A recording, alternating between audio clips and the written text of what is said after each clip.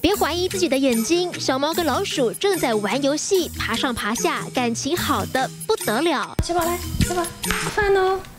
看清楚了吗？当小猫遇上老鼠，不仅没有追逐，也没伸手抓，最酷的是，它们还能合吃尾鱼罐头。当初也是会怕，然后后来后来我就尝试把它们两只放在一起，结果发现它们只会玩耍而已，它们也不会互相攻击。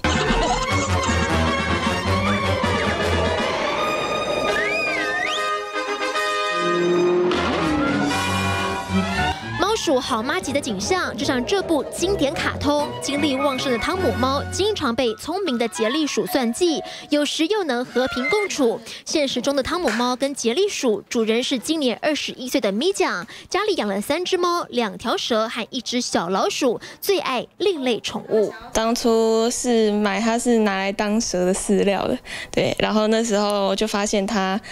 要抓给蛇吃的时候，就发现它都不会咬人，也不会挣扎什么的，我就觉得它很特别、很可爱，所以我就把它养起来。这只小老鼠原本是球蟒的饲料，却因为性格特殊，让它成了家族成员，而且还可以跟其他动物打成一片。谁说猫一定会捉老鼠？今天之后肯定颠覆了您的刻板印象。